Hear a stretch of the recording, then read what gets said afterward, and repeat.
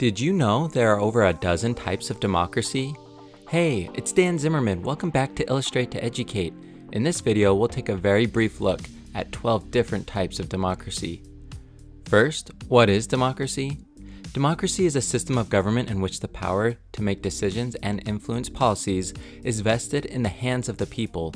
It's a form of government that emphasizes the participation of citizens in the decision making process and aims to protect their rights and interests. There are several different types of democracy, each with its own characteristics and variations. Let's take a brief look at each type. First, there's direct democracy. In a direct democracy, citizens have a direct role in making decisions. They participate in policy making, often through referendums or town hall meetings. This system is most practical in small communities or on specific issues. Next is representative democracy or indirect democracy.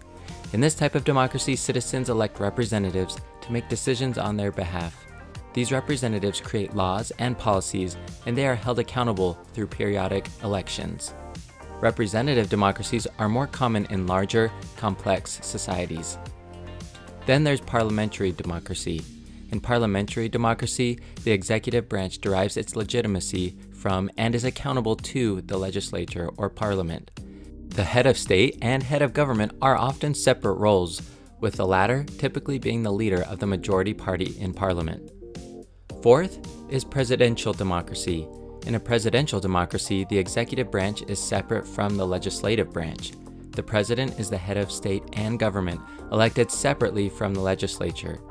The United States is a notable example of a presidential democracy. Then there's federal democracy.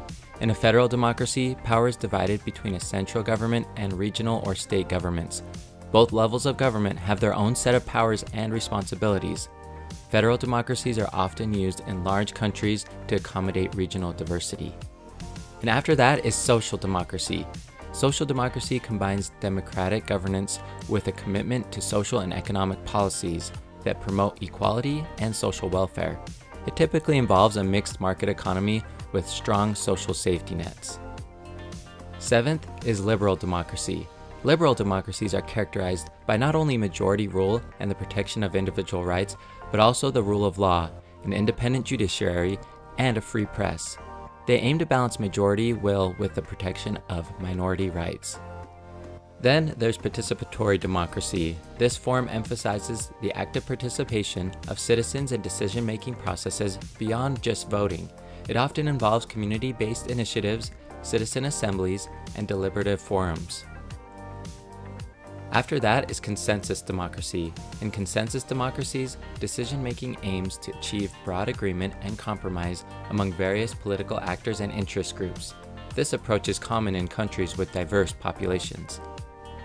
Number 10 is illiberal democracy.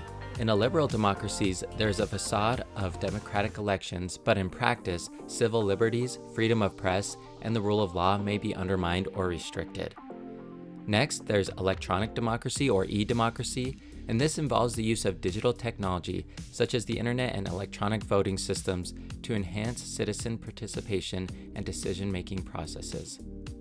Lastly, economic democracy refers to a system in which economic decisions and resources are distributed more equally among members of a society. It aims to give individuals and communities a greater say in how economic activities are organized and how wealth is distributed. This can be achieved through various means, such as workplace cooperatives, participatory budgeting, and policies that promote income equality. It's important to keep in mind that the implementation and effectiveness of these democracy types can vary widely from one country to another. Each type has its strengths and weaknesses, and the choice of a democratic system often depends on historical, cultural, and political factors.